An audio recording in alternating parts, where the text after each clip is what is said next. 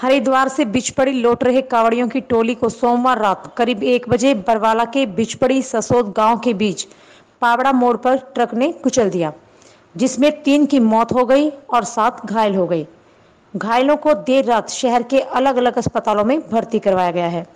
डाबड़ा चौक के पास एक निजी अस्पताल में घायलों के साथ पहुँचे हादसे के प्रत्यक्षदर्शी कावड़िए संदीप ने बताया कि पिछले छह सात साल से लगातार कावड़ लेने के लिए हरिद्वार जा रहे थे। इस बार गाँव से करीब सत्रह कावड़िए गए थे।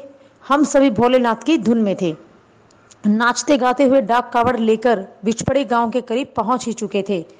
पिकअप गाड़ी के साथ साथ तीन अलग अलग बाइक पर कावड़िए और हेल्पर सवार हो गाँव की ओर बढ़ रहे थे।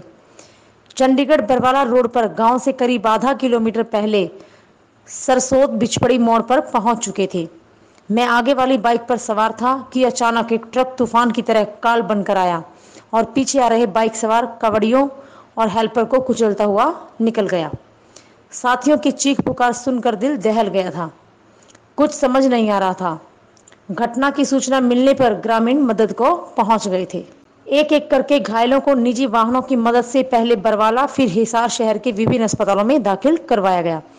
हादसे में अलग अलग परिवारों के इकलौते दो चिरागों सहित तीन की मौत हो गई। ये हमारे बच्चे जो कावड़ लेने के लिए गए हुए थे और रात को लगभग पौने बारह बजे बिल्कुल गाँव के साथ में आ गए थे, गाँव के अंदर घुसी गए थे, आप ये मानो। पीछे से ट्रक आया और इन तीन बच्चों को तो मतलब ट्रक ऊपर चढ़ गया इनको और एट द स्पॉट इनकी डेथ होगी और दो बच्चे सीरियस हैं, वो हॉस्पिटल में एडमिट हैं और चार पाँच को चोटें आई हैं।